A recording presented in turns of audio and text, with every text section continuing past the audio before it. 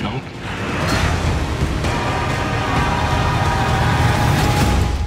We can't leave.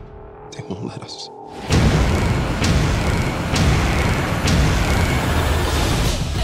Pleasure to meet you. A pleasure to meet you.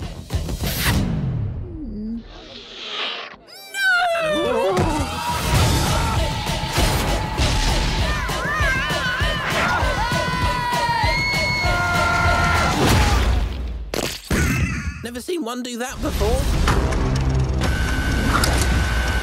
Brick by brick, dollar by dollar, body by body. I promised I wouldn't go back to being that person. But for you, I'm gonna make an exception.